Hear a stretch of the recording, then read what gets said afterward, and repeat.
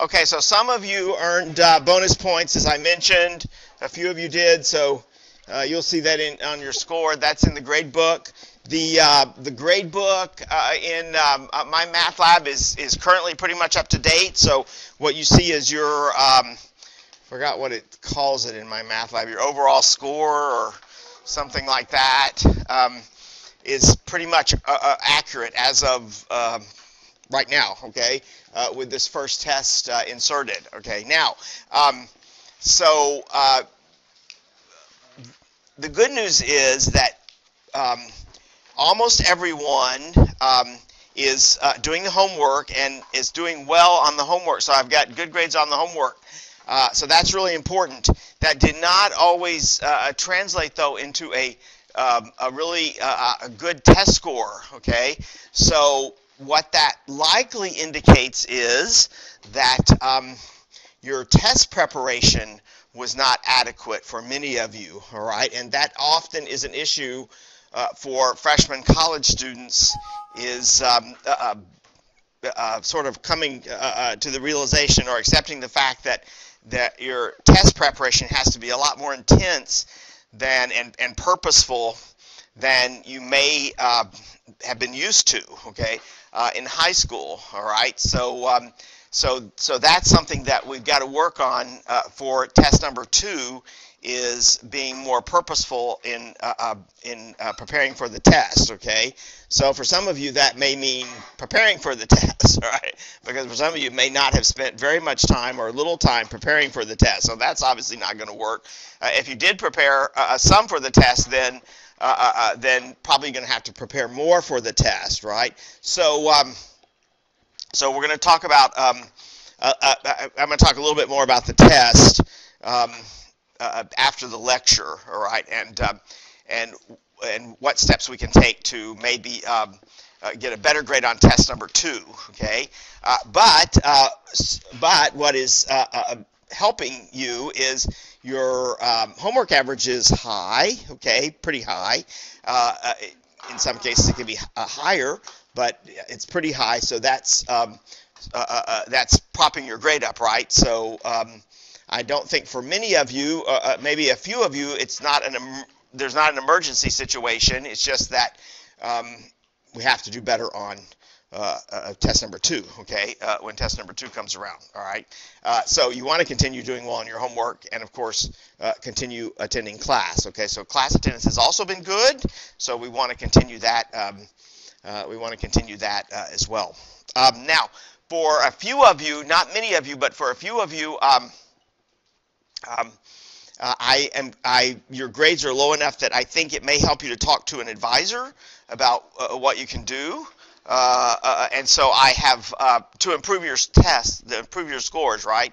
Because it may be not just this class that you're having issues with, but it may be other classes as well. So, uh, so for some of you, you may have an advisor call you, all right, or email you, contact you uh, about this class, and they're simply going to uh, discuss with you uh, what strategies uh, you might uh, employ beyond what I mentioned here in class, so that um, you can get your grades up. Okay, and they may also want to talk with you about what's happening in your other freshman classes, right? Okay, so um, so be aware of that. All right. Um, um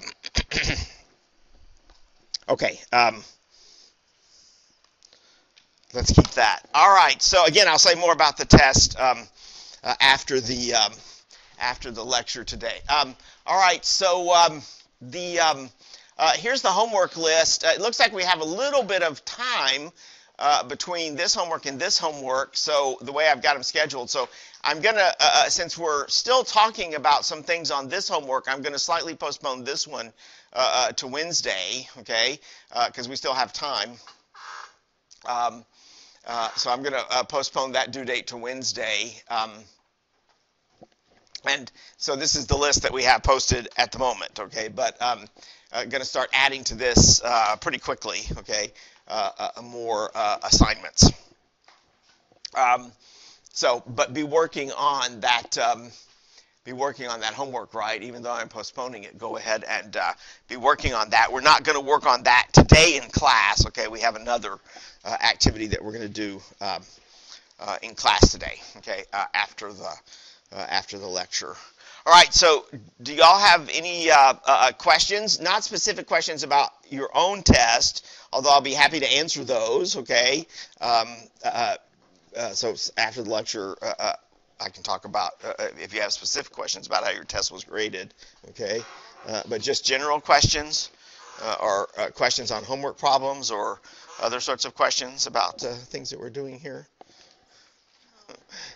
no? Okay. All right. Well, someone might. No? All right.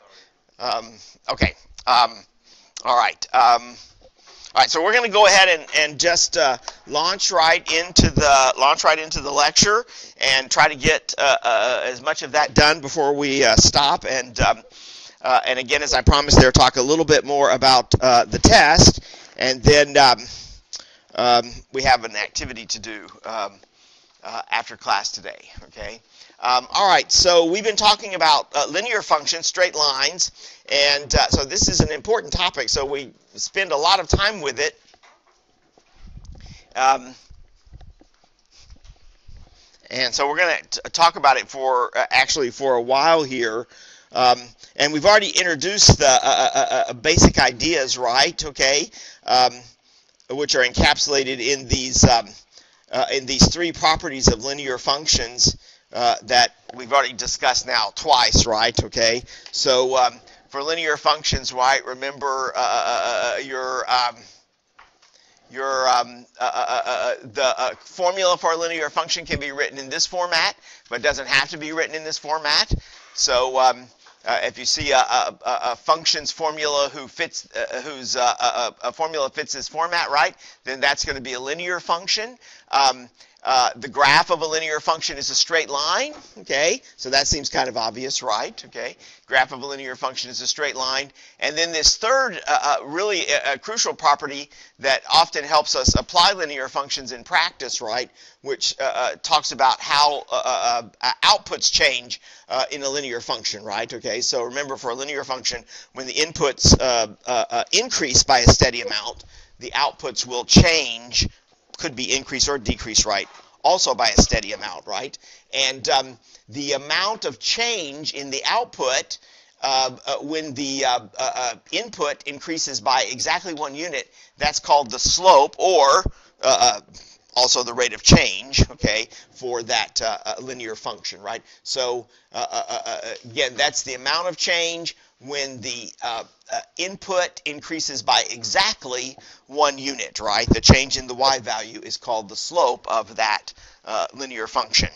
And, and that number turns out to be a, a, a key uh, in many cases for helping us apply uh, linear functions in practice. So that's why we, uh, that's why we kind of dwell on that definition um, a lot. All right, so before the test, uh, we were just looking at examples of linear functions. So remember in this example we had a bunch of tables uh, um, of um, uh, uh, uh, functions, and we were uh, just trying to determine if those were linear functions or not.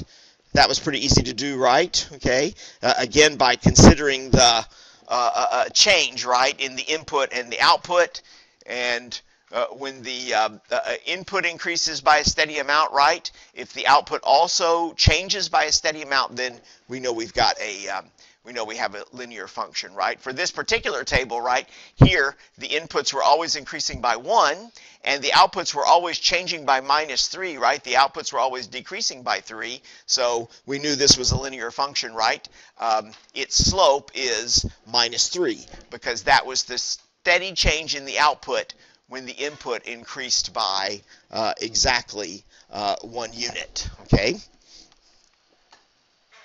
All right, let's look at some linear functions, though now not in the form of um, uh, uh, uh not in the form of tables, but in the uh, uh, but as formulas. Okay, so um, these are all formulas for linear functions because they can all be put into that um, uh, mx plus b format, right? Okay, so you can, uh, if they're not already written in this format, you can rewrite all of these um, uh, uh, function formulas in this style, okay?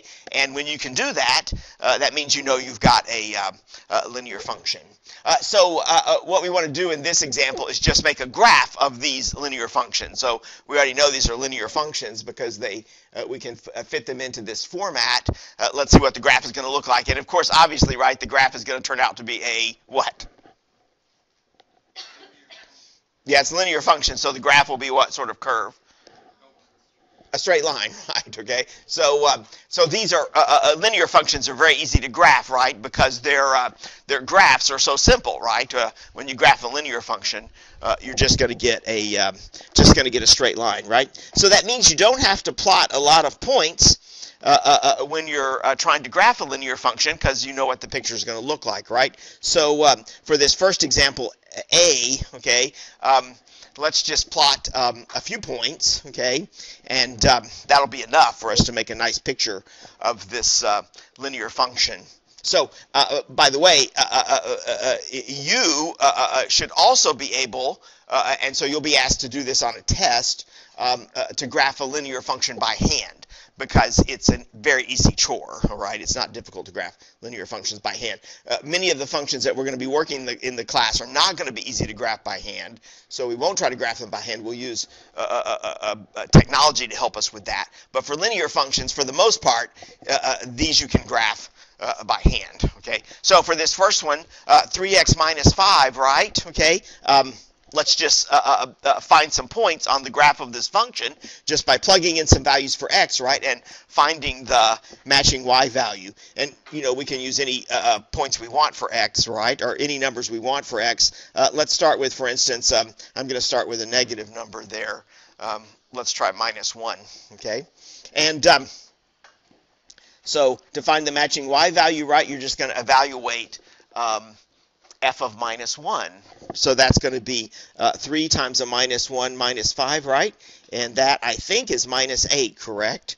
So you know this point, minus 1 minus 8, um, is going to be on the graph of the function. All right, let's try another x value here. Normally, I would... Um, normally I would try to separate my x values by a little bit more than 1, okay? A little bit more than 1, but I'm uh, the reason I'm not in this instance is I'm going to try to demonstrate something here. All right, so let's just go up to zero, okay?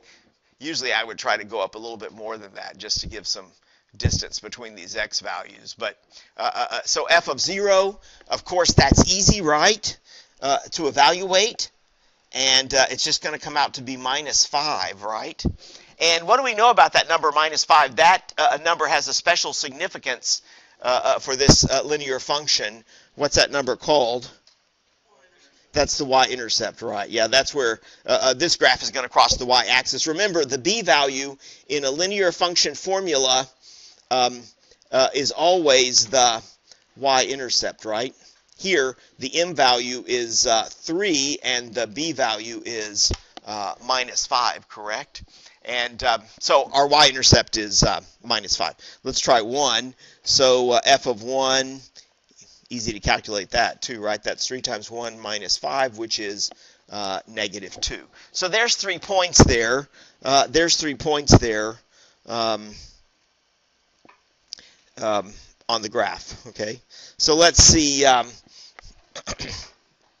minus 1, when we plug minus 1 in here, we're supposed to get what? Minus 8.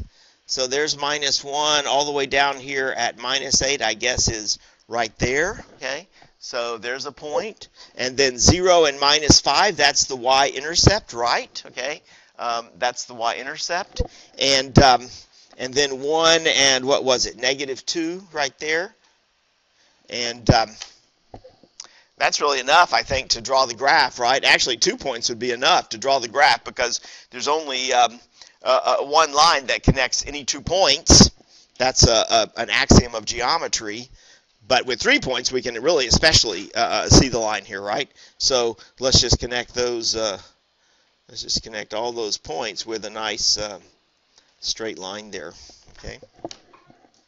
Ah, so um, there's my graph. All right. Um, that's what that graph is going to look like. All right. Um, now, because of the way I, here's why I was uh, kind of setting up this. Uh, uh, this uh, uh, table of input-output values the way I did. Uh, notice in this instance, I separated all the x values by exactly 1, right? Okay, so notice in this table, x is always increasing by 1, right? Here, the change from minus 1 to 0 is 1, and uh, the change from 0 to 1 is, of course, also 1, right?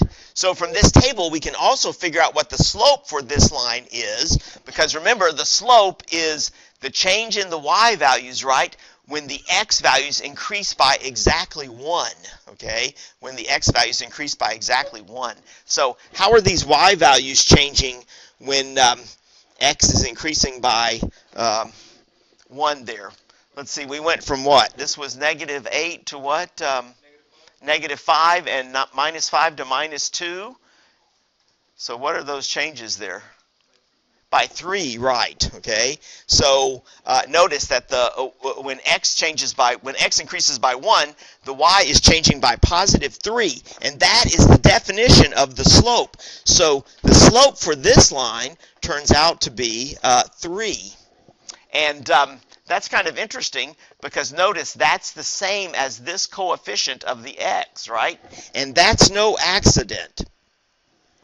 Um, that coefficient of the x there will always be the same as the slope of the will always be the same as the slope of a line. So when you have a, a, a, formula for a line given, it's easy to determine what the slope is, right? You just put it into this format and read off the coefficient of the x, and that's going to tell you the slope of the that's going to tell you the slope of the line. This is only one example of that, but that's going to be true in uh, every case. Okay, so uh, uh, uh so uh, uh, well, here's two ways, right, of seeing that the slope of the line is three, right? We read it off of this table, but now we know that we can also get that from the coefficient of the x when the line is written in this uh, format. Okay, um, so this mx plus b format has a special name. Um, this is called slope-intercept form, um, and obviously it's called that because um, when a line is written in this um, style, you can read off the slope and you can read off the uh, y-intercept, right? Okay, it's easy to determine those two values. Let me show you now another way, uh, since we know now that the slope is 3, let me show you another way we could have graphed this line, okay, uh, other than just building this table of values, okay. Let me show you another way we could have graphed the line. All right, so look, um, we already know from looking at uh, uh this formula, what's the y-intercept? Negative 5, right, okay. So you already know this point is going to be on the graph without having to make out the table, right? You know minus 5 is going to be out on the graph. But you also know the slope is 3. And remember, what does the slope tell you? That tells you how the y changes when x increases by 1.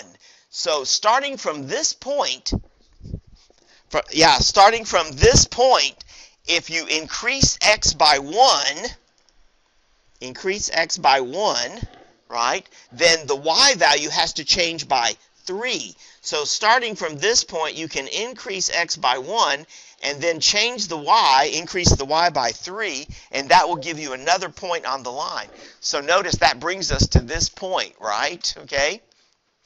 So there's your second point on the line. And you can keep uh, playing that game. So another point on the line would be increase x again, and then again go up by 3. So there's another point on the line, or again increase, increase x by 1 and go up by 3. So there's yet another point on the line. So you can keep stepping up like that to get more points on the to get more points on the line. So there's another way of making the graph. You can make the graph that way by using the slope and the y-intercept without having to, you know, really uh, uh, uh plug in uh, these values into the formula. Okay. Let's try the second one. See if I. All right, so uh, 5 minus, uh, 3x uh, over 2. So when you first look at that, right, you might think, uh, uh, I think we discussed this earlier, right? You might think, oh, this is not even a straight line, okay, because uh, the formula doesn't look like mx plus b. But you can rewrite the formula in mx plus b form, right, by breaking this fraction into two fractions. So uh, uh, uh divide 5 by 2, that's 5 halves, and divide the minus 3x by 2, that's minus, uh, 3 halves x, okay? And that's the same formula, just written in a slightly different form, right? And when you see it written like this, then it's much more obvious, right, that that is a straight line, right? What's the y-intercept there? Yeah, so the b value is 5 halves. That's the y-intercept.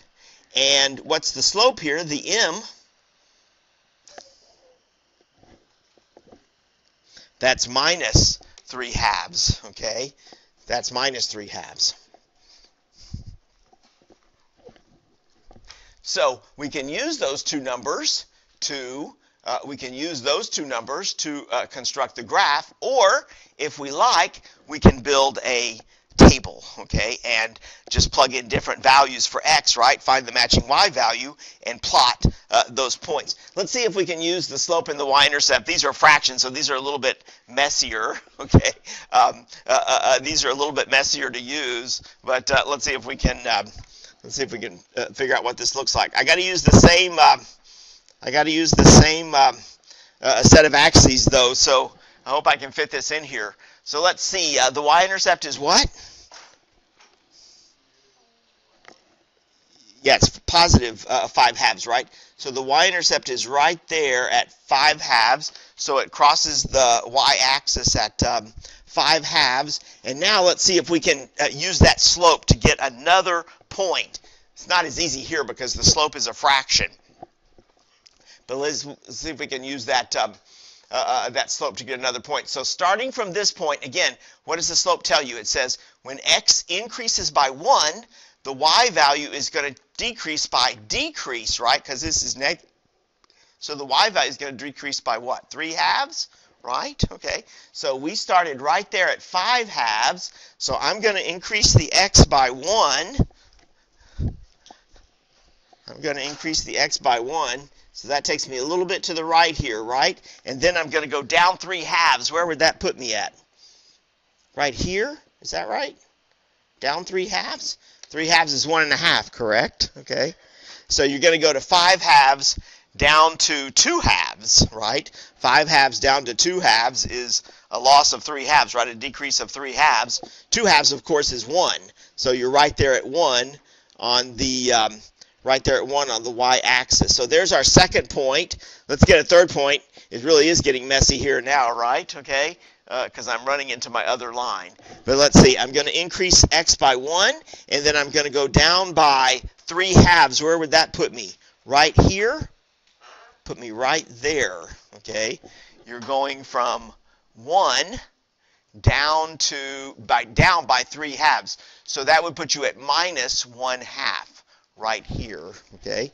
Uh, you want another point, increase x by 1, go down another 3 halves, that brings you to this point. See how all those uh, uh, uh, points line up perfectly on a line, right? Okay? Um, and now just connect all those points. Ah, yay, okay? So uh, there's our second line. Let's see. This first line had slope 3. This second line has slope minus, uh, 3 halves, okay? Ah, so there's a nice graph.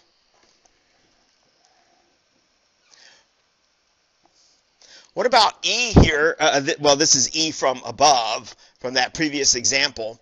Um, f of x equals minus 5. So that also is a linear function, all right? Again, that's one that can kind of fool you, right? Because when you look at that formula, you might think, uh, not a linear function because it doesn't fit this format.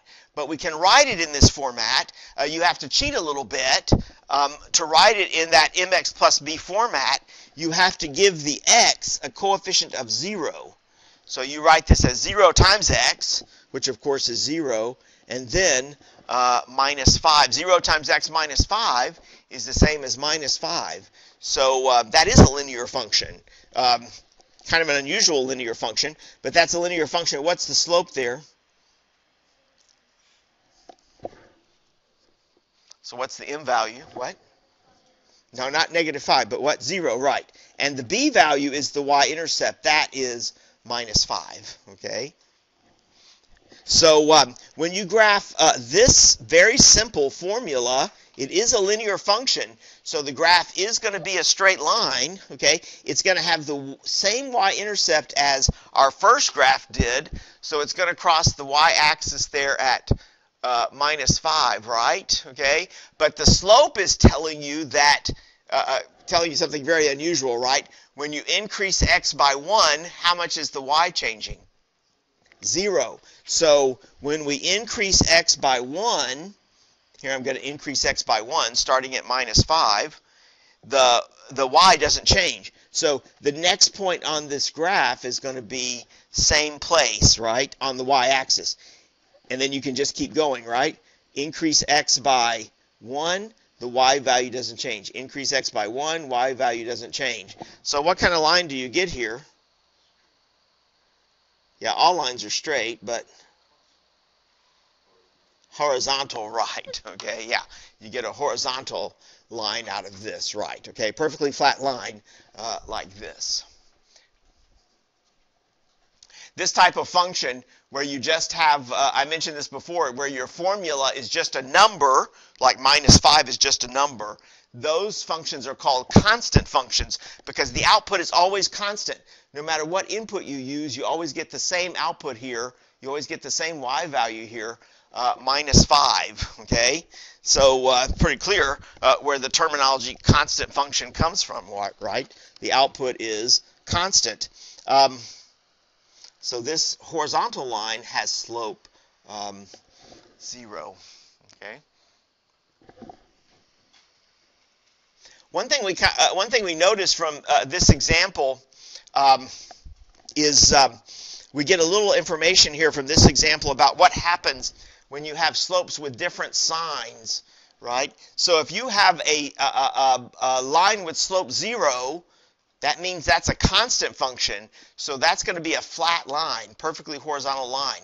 But if you have a, a, a line with negative slope, like this second example had negative slope, right? Negative 3 halves was the slope. That line is going to be decreasing from left to right, okay? So it's always going down from left to right because the outputs are going down, right? The outputs are uh, uh, decreasing when the inputs go up. So uh, uh, uh lines with negative slope go down from left to right. This line has slope 3, however, and you, when you have lines with positive slope, those lines are going to be increasing from left to right because the uh, the output is increasing, right, when x goes up by 1. So positive slope, that always gives you an increasing line. Negative slope, that gives you a decreasing line. And then 0 is either positive or negative, but uh, lines with 0 slope turn out to be uh, perfectly flat, all right? Well, that all seems kind of obvious, but that sometimes helps you when you're trying to graph a straight line. Um, uh, uh, uh, if you graph a line with negative slope and you get a graph that's going up from left to right, you know you've done something wrong, right? Or vice versa. If you're graphing a line with negative slope and you get a, a graph that's going up from left to right, then um, you got to recheck your work, right? You know you've done something wrong in that case.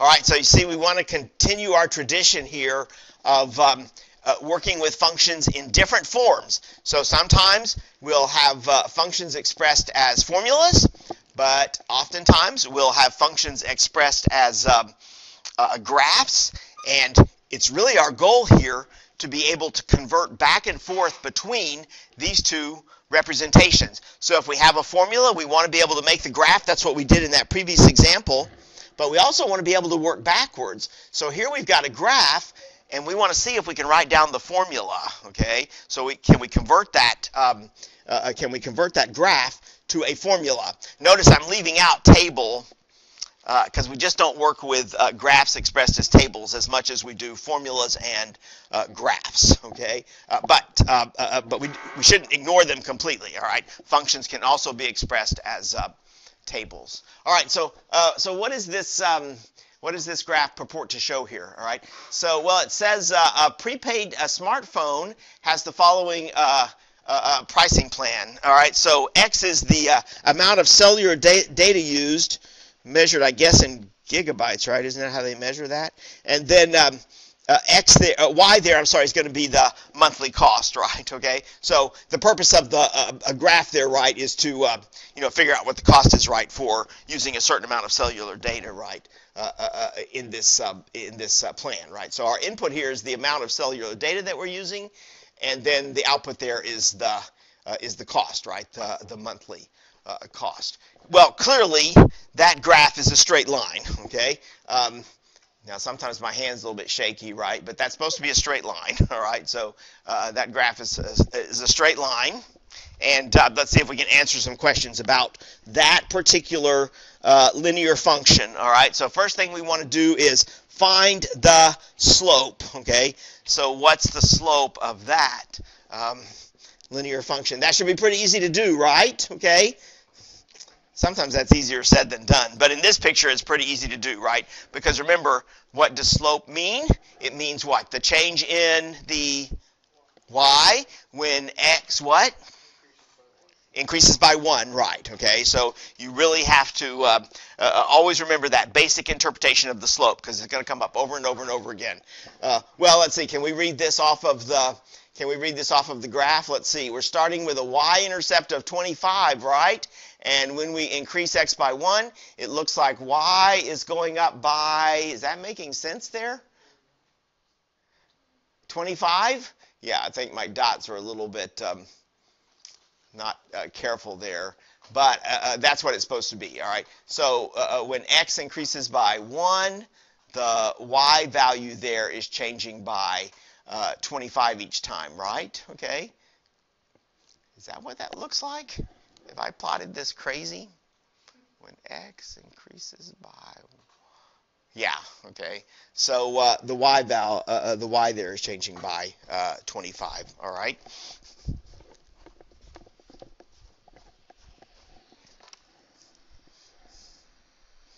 So uh, that's easy there, just to read off the that's easy there just to read off the slope. So what is that slope telling us? Okay, of course it's telling us um, uh, uh, uh, how the y value is increasing, right? When the um, x increases by 1, right? How the y value is changing when the x increases by 1. In the context of this problem, what does that mean to us? If we're the customer, what is that slope really telling us?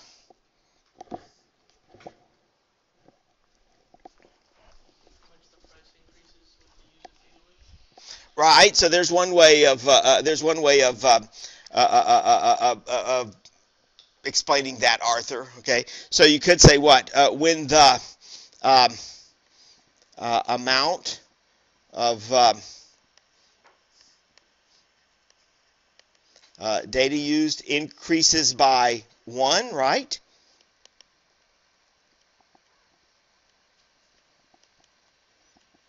One watt, by the way, there, Arthur. Yeah, right. One gigabyte there, right? Okay. What the? So what else is changing here? Yeah, that's right. Uh, so the monthly uh, uh, cost, right, is is it increasing or decreasing? Increasing because that's positive slope, right? So the monthly cost increases by um, how much there? What was the slope? 25, right, okay? So the monthly cost increases by um, 25. That's kind of a long-winded way of, uh, of, uh, uh, of explaining that. Can you think of a shorter uh, description of that slope, what that slope is telling you? Shorter, okay. Shorter description of the practical meaning of the slope. What is that slope telling us in practice? As a customer, what does that slope mean to us? I mean, it means this, okay? That is correct. Uh, that's what it's telling us. But it, can you say that in a little bit uh, simpler way? That's probably not how you would explain that. What now? Yeah, right. That's right. So uh, uh the cost is twenty-five dollars per gigabyte, right? Okay, that's probably what you would, uh, uh, how you would explain, right? Okay.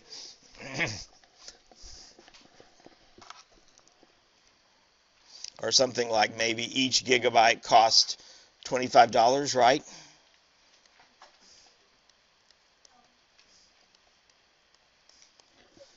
Says the same thing. Of course, what was the what was the y-intercept there? 25, right? Okay, so we saw there that the y-intercept there is uh, 25. Can you uh, uh, uh, what what's that y-intercept mean there?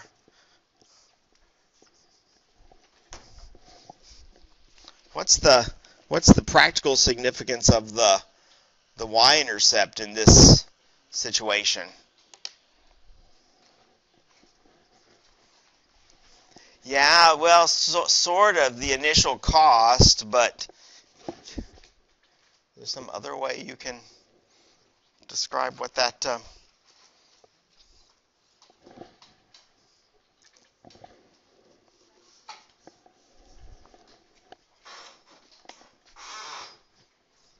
See, think about that. That's the that's the output that um, that's the output that matches the input zero, right? But the input zero here would be uh, uh, uh that would be no gigabytes used. So what's that?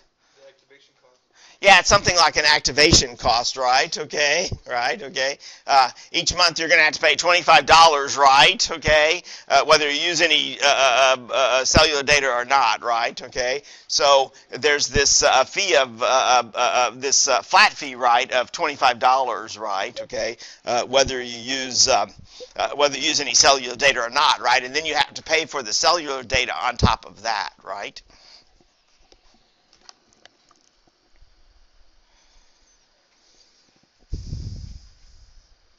Not sure how a uh, not sure how a uh, cell phone manager would exp- uh, cell phone store salesman would uh, explain this, right? Any y'all work at cell phone stores?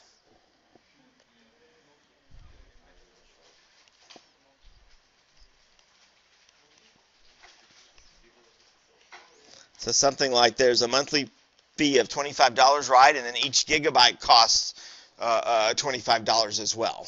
Okay, right? Now, here's the last uh, thing we want to do. Okay, um, let's see if we can write down a formula for this uh, linear function. All right, so I want to write down a formula for that linear function. So it's a linear function, right? So that's a very important clue the fact that that's a linear function, right? Because you know the formula can be written like this, correct? And all you have to do is fill in the coefficients here, the m and the b. But we already wrote those down, right? We already discovered those. What was the m? 25, right? And the y-intercept there was 25 also, okay? So very easy to write down this uh, very easy to write down this formula, right? Once you know the y-intercept and uh, you know the slope, okay, then very simple, right, to write down the formula for the line. So it's very easy, usually, to convert uh, linear functions to formulas, okay, because they have very simple formulas, right? But there are some things you have to fill in, right, okay? So there are some things you have to insert into the formula. But usually those things are fairly straightforward to discover. Not maybe so easy as in this example, but we'll see how we can uh, uh, uh find uh, uh, those values that we need to fill into a, a formula for a uh, formula for a linear function.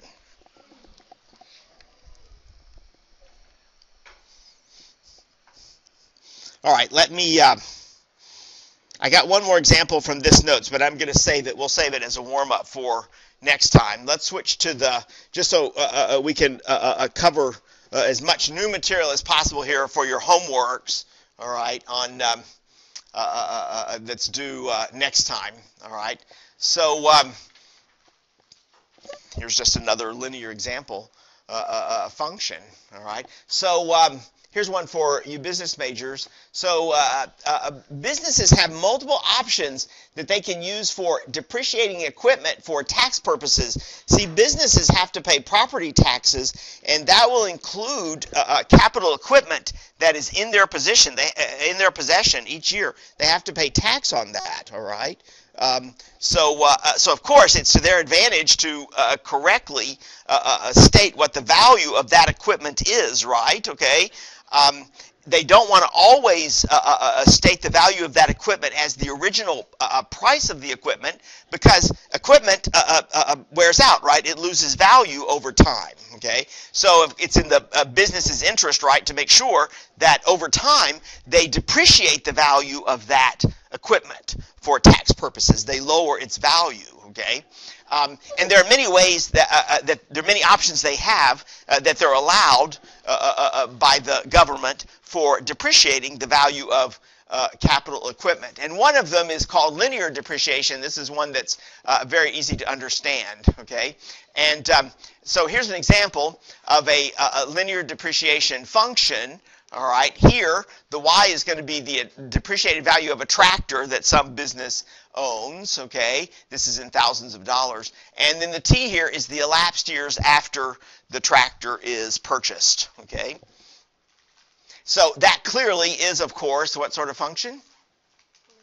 Linear function, right. So one option businesses have to depreciate uh, capital equipment like tractors uh, uh, is uh, uh, using a linear function to uh, calculate the current value of that um, piece of equipment. All right. So in this example, here's the linear function that we're used to calculate the value of this tractor after a given number of years after it's been purchased. Right. So. Um, course, it's easy here to calculate G of 3, right? The formula is really easy to use. And that's one reason why businesses will use linear depreciation formulas like this one is because they're so easy to calculate, right? So G of 3 there is going to be um, 150 minus 25 times 3, which is um, 150 minus 75, of course, which is 75, right? Okay, so it's easy to compute G of 3. Uh, what does G of 3 mean, though? So what's the 75 telling you?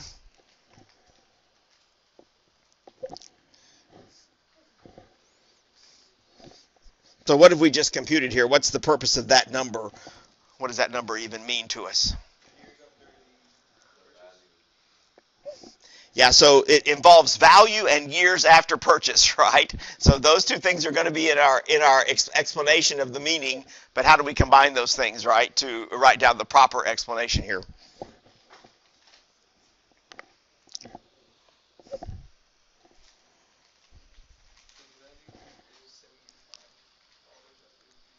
Perfect, right? Okay. The yeah. So the value is right. Uh, uh, what did you say, Emiliano? There. Uh, it's seventy-five thousand. Yeah. Okay. Yeah, it's not seventy-five dollars. That's a little bit low for a tractor, right? Okay. So they'd probably get in trouble if they tried to put that as the value of the tractor on their tax return. Okay. The value is uh, seventy-five thousand after three years, right? Okay, or three years after uh, purchase. Okay, that's just what G of three means, right? So uh, this is one thing that y'all were sometimes struggling with, and I knew it was going to be this way on the test, right? Is well, you didn't have much trouble evaluating the function notation that's pretty easy, right? So I think everyone could compute that uh, G of 3 here is 75. But then explaining its meaning, I know that sometimes you're uncomfortable with that, but that's really important that you understand what that uh, uh, uh notation actually means in practice. Okay, uh, the math, the numbers without meaning are not um, of much use to us, right? Okay, we have to know what the numbers are telling us, right? if we're going to apply our math knowledge in practical situations. What is the slope here? That's pretty easy to read off. Okay, so what's the slope? That value that we often denote by m. We almost always use the letter m to denote the slope. So what is the slope here? See, we've got the formula, so we can read the slope off, right? What's the slope? Negative 25, perfect, right. It's minus 25, right, okay. So the slope there is uh, minus 25, and so, all right, so here's the tricky part, right? What does the minus 25 mean, okay? So what is its practical significance to us?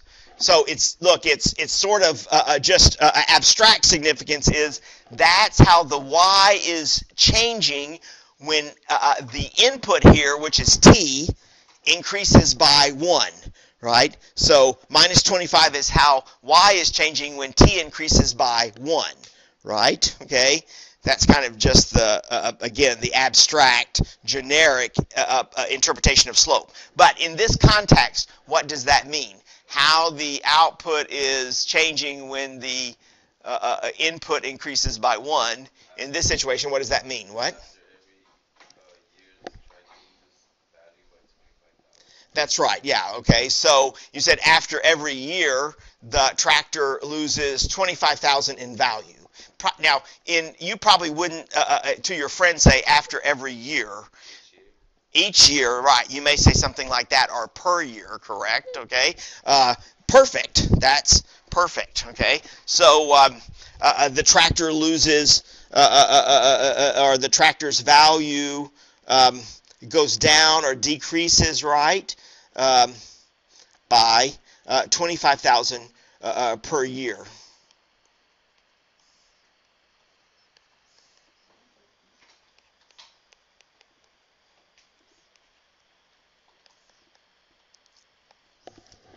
Or each year. What's the y-intercept here? So again, that we can read off, right? What's the y-intercept? 150, right, okay? So we can see there that the b value there, same as the uh, uh, uh, uh y-intercept there, is uh, 150. What is that telling us?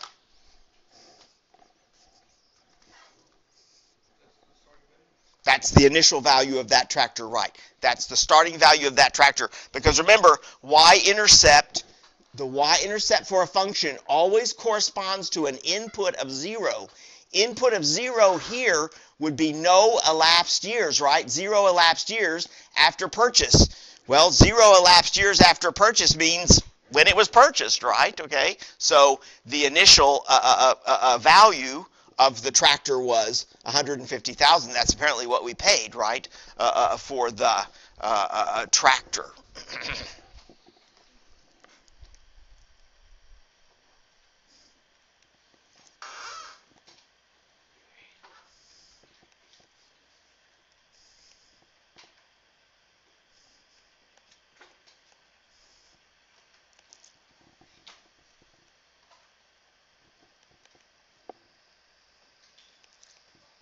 Finally, one more thing here on this example. We haven't talked too much so far about x-intercepts. We haven't talked too much uh, so far about x-intercepts, but graphs also cross the x-axis sometimes, not always, but graphs also cross the x-axis sometimes, and um, those numbers are uh, uh, uh, uh the place where a, a, graph crosses the x-axis, that sometimes is important to us. It often has practical significance in a problem. It does in this problem for sure, okay? So here, uh, uh, what you're asked to do is find the x-intercept, where that graph, we don't even see the graph, right? So we don't even have a picture of the graph. But if we did have a picture of the graph, where that graph would cross the x-axis how would we find the x-intercept now, where the graph crosses the x-axis? We can't look at the picture because we don't have a graph here, right? But from the formula, how can we find the x-intercept? Well, let's think backwards here. How do we find the y-intercept? Plug in what? Yeah. For for the input, right? Okay. Uh, right. So to find the x-intercept, actually, I should say t-intercept here because the input is t. But to find, in general, to find the uh, x-intercept, you plug in 0 for the output, okay? So to find the y-intercept, you plug in 0 for the input. To find the x-intercept, you plug in 0 for y, or the output. Well, let's do that in this formula then. So see, there's our formula, right? Where's our formula? Here's our formula. And so I'm going to plug 0 in for y. And that leads me to an equation now that I have to solve. Oh, so see, finding x-intercepts is um, not quite as straightforward as finding y-intercepts because uh, uh, when you plug 0 in for the output in a formula, you get an equation that you have to solve. So often to find x-intercepts, you have to solve equations. Well, sometimes that's easy and sometimes that's not so easy, right? Okay, uh, let's see. But this one I think we can solve pretty easily, right? How would you solve that equation? We want to solve it for t. So what would you do first there? Subtract 150 from both sides? Yeah, that's what I would probably do too. So subtract 150 from both sides. That's the same as moving the 150 to the left-hand side. So you get minus 25t is minus 150. And now what? Divide both sides by minus 25. Sure, right. Okay. So not so bad to solve this. And we get what? That t is equal to 6, right? Okay. So our x-intercept there is, um, we get a nice value there for the x-intercept. It turns out to be uh, 6. What does that mean to us?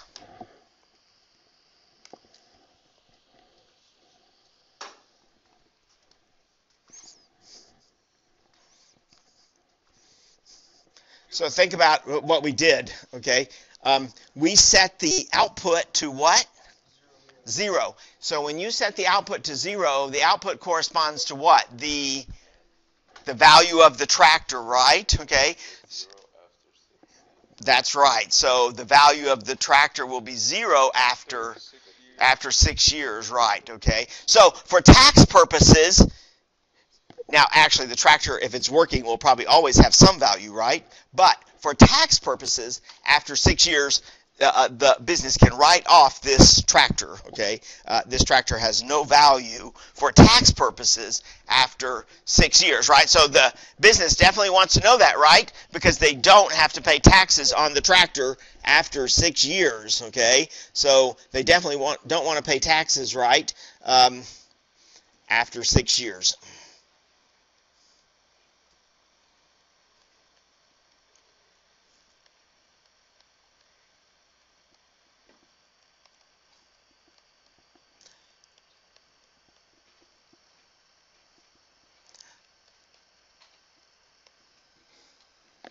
All right, I want to show you one more thing quickly before we stop, okay? Um, and, and this has to do with just finding the slope of a line. So we've talked about slope a lot today. Sup suppose, though, that you're given a linear function like this. So you've got the graph, okay? You've got the graph, and you're asked to determine the slope, okay? Now, you know a little bit about the graph because um, uh, you know a couple of points that the graph goes through, all right? So this graph goes through minus 2, minus 3, that's one point on the line, and then uh, uh, uh, uh in this example, another point on the line is 4, 2. And we want to compute what is the slope, okay? Well, you can see because the line is going up from left to right, correct? Um, you can see that the slope is positive. So whatever number we get here for the slope, we know it's going to be positive, correct? So, uh, so we know that much, but there are lots of positive numbers, right? So uh, I need to narrow that down a little bit because uh, that's not a, a, you know a precise enough answer. So we want to actually calculate exactly what that positive uh, number is for the slope. Now, if you think about the basic interpretation of the slope, it's kind of hard to figure out what the slope is from the um, graph because remember, slope means the um, it's the change in y, right? When x increases by 1. but if you try to read off of here what's happening to the y when x increases by 1, it's really hard to see from the graph, okay? It's really hard to, uh, uh, you know, look very precisely there and um, figure out what's happening to y when x increases by 1. You don't get a nice even number, right? Uh, for the slope. So, uh, so here we need another way of computing um, the value of the slope. And um, it's easy, okay? Um, because all you have to do uh, uh to figure out what's happening when x increases by 1 is between these two points, figure out what the total change in the x is, okay, between these two points. It's not going to be 1, right? But um, but let's see, what is it between those two uh, points, the change in x? Well, let's see, we start at minus 2, right? and we're going to 4. On the x-axis, we're going to 4. Did I draw that in the right place? Yeah. On the x-axis, we're going to 4. So that means the change in x is how much there? 6, right. Okay. You can just count that off, right? The change in x is, between these two points, is 6. By the way, if you don't want to count it off, you can also calculate it just by taking the difference in the two x coordinates. So take 4 and subtract the minus 2, and that also gives you positive 6. Positive 6. Minus a minus 2 is plus 2, right? So you get there 6. Now, uh, uh, that's the change in the x. What was the change in the y? Well, let's see. We went from minus 3 up to what? 2, right? So that's a change of 5, right? You can just count, right? Okay. That's a change of positive 5. We want to make sure we get the sign right, but that's a change of um, positive 5. So the change in y there is um, 5, which we also could have calculated by taking the difference in the y coordinates. Takes 2 minus a minus 3, and that gives you positive 5. Okay, so if you didn't want to count that off from here to here, just take the difference in the two y coordinates and you get positive 5.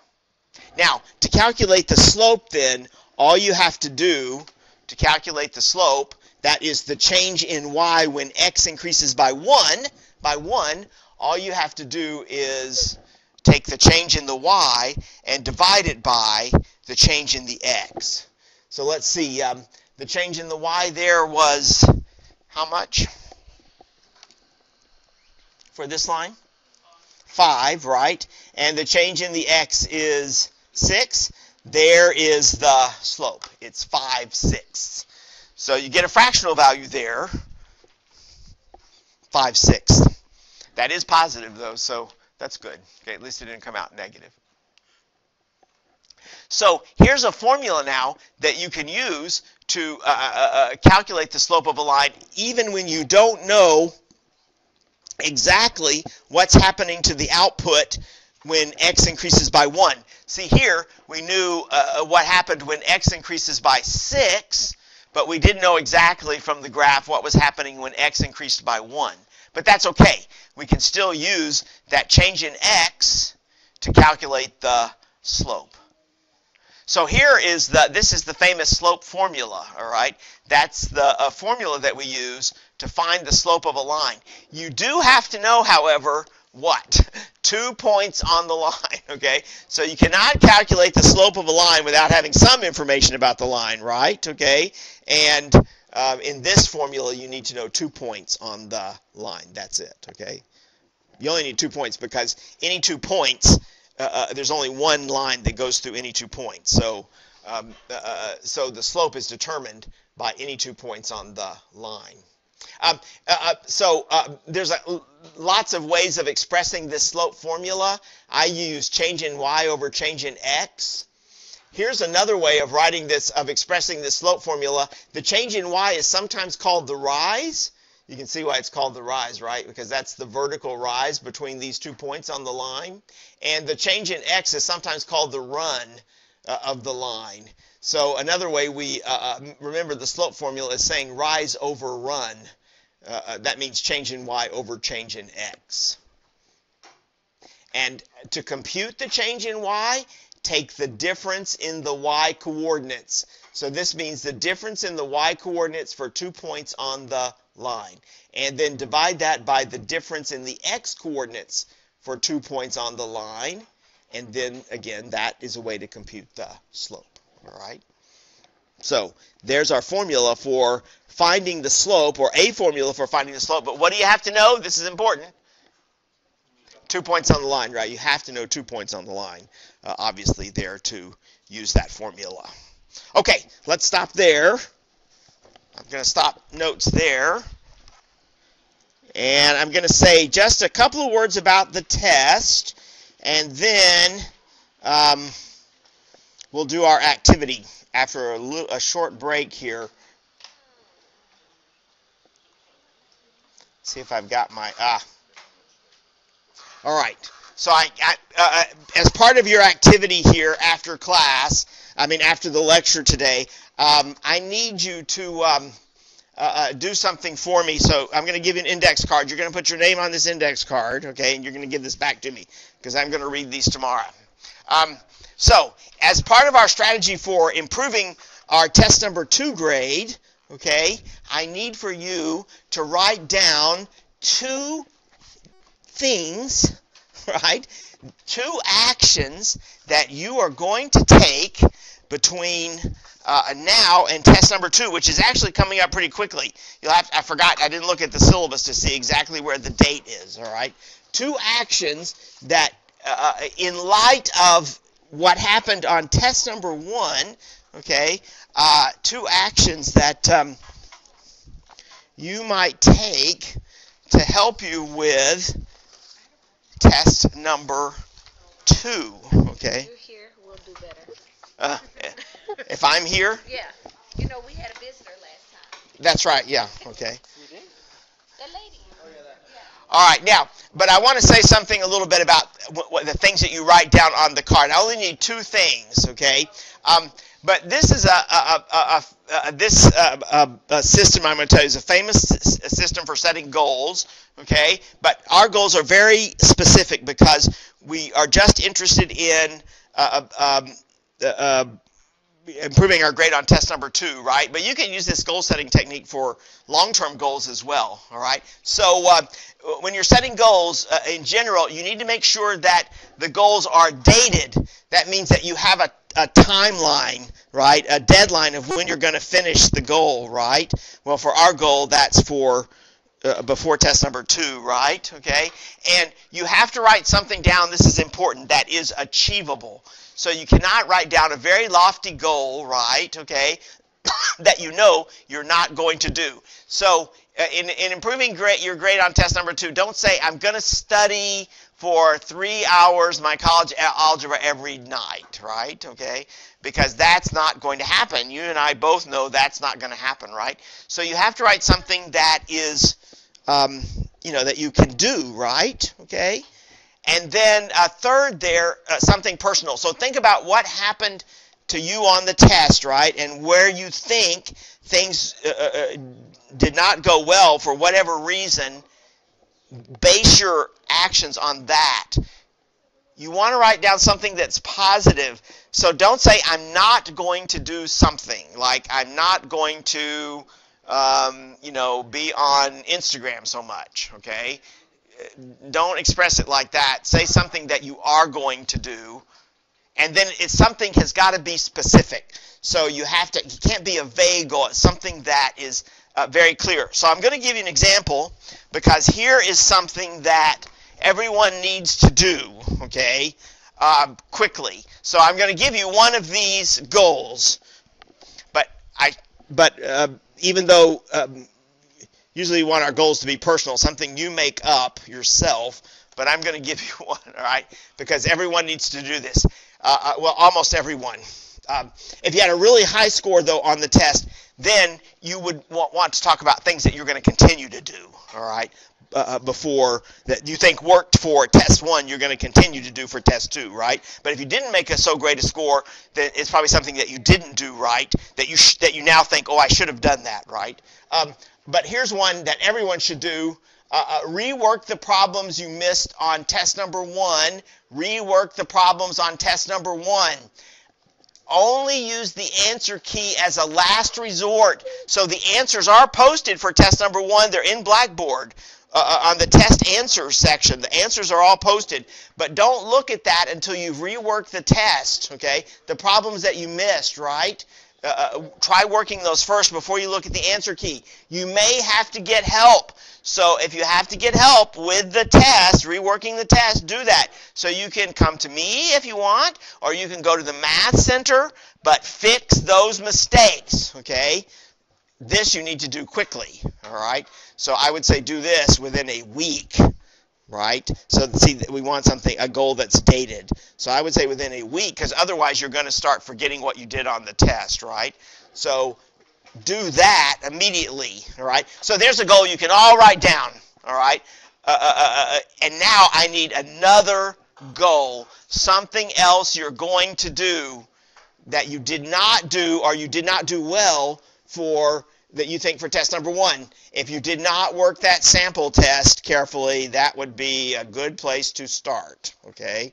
Um, uh, uh if uh, uh, but for some of you who did well, you might say, I'm going to continue um, making sure I come to every class, right? Or I'm going to continue uh, uh, uh, working hard to have a high score on my homework, right? Something that you think helped you. Write that down as your goal, something you're going to continue to do, okay? So let's take just a, three or four minutes to write something down. Everyone's got to write something down because I'm going to take these up and I'm going to read them and comment them on them, right? Okay? Um, tomorrow. Yeah, you need to put your name on. I need to have your name so that I can uh, have an idea of what you think would have uh, helped you. But this is an action you can take, right? Okay, uh, uh, that um, that you think would have helped. Spend more time, just more time preparing for the test. I didn't spend enough time preparing for the test. Things like that, right? Okay.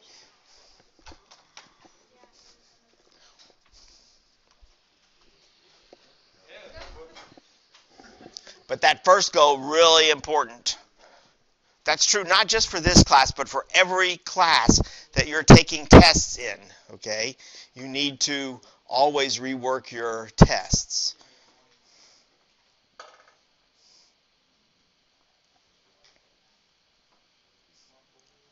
So when you've written down a goal, then you can go get a drink of water or something, and we'll start again about 10 minutes We'll start again about 10 minutes until the hour, okay? And uh, worked on some on our activity for today. I don't think we'll get through with it, but that's fine.